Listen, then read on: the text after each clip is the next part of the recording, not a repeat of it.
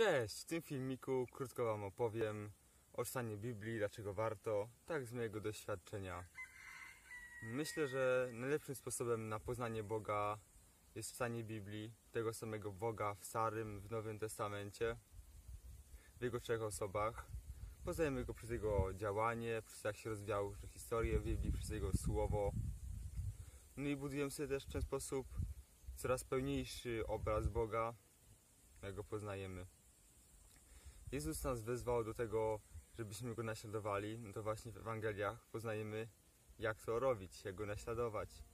No i jeśli, jeśli chcemy stać się świętymi już na ziemi, to Biblia nam w tym pomoże. Biblia nas nauczy, jak postępować, żeby tą świętość osiągnąć, żeby się zbliżyć do Boga.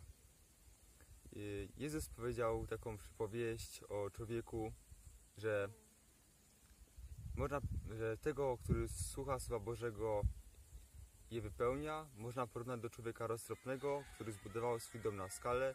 Jak przyszła burza, wicher, dom się ostał, miał mocny fundament. I właśnie takim fundamentem naszej wiary jest Słowo Boże.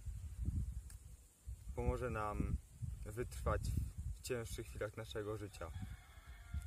Osobiście y, czytam czytania na każdy dzień. Lubię tę formę, bo jest krótka. Psalmy są takie podnoszące na duchy, na duchu. W Ewangelii zawsze znajdziemy y, jakąś część działalności Jezusa, Jego Słowo. No i też to jest jakoś, y, czytanie nawiązuje do psalmu, do Ewangelii, to jest, się ze sobą łączy. Też jest jakoś to y, posegregowane chronologicznie na przestrzeni dni, miesięcy. No i myślę, że też warto przed całą Biblię, żeby poznać te wszystkie historie.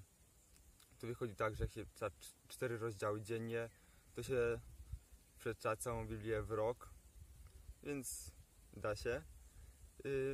No i ważne jest, żeby to robić, żeby czytać pismo systematycznie, bo wtedy właśnie prościej nam nim żyć, prościej nam właśnie wypełniać to słowo. No i polecam Wam ten konkurs. Urozmaici Waszą przygodę z Pismem Świętym, zachęci. Powodzenia. Cześć.